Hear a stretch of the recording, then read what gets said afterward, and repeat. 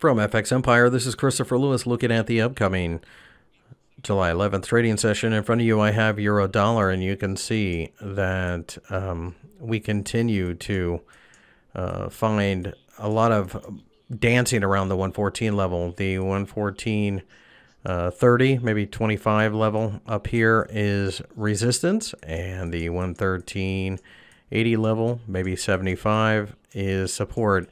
I think the market continues to go back and forth. Eventually, I think we do break above 115, but uh, that is a market uh, event that would be a buy and hold situation. Until then, I think we're just trying to build up momentum.